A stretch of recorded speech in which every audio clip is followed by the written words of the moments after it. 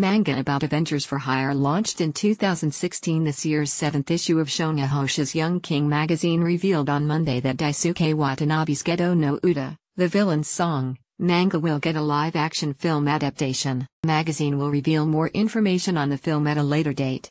The manga centers on Kamo and his partner Tora, who work in the underworld as Avengers for Hire, taking on jobs from the victims of violent crimes and families seeking vengeance for wrongs done to them. The manga launched in Young King in 2016.